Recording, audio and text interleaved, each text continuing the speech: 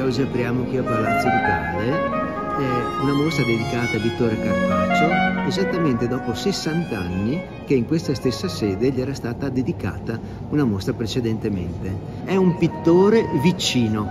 Io credo e mi auguro che il pubblico apprezzi eh, numeroso questa mostra proprio contando sul fatto che Carpaccio è un pittore pop, cioè è un pittore a noi molto vicino, ci parla in maniera diretta, anche se eh, la sua vicenda appunto e la sua arte attraversano più di cinque secoli.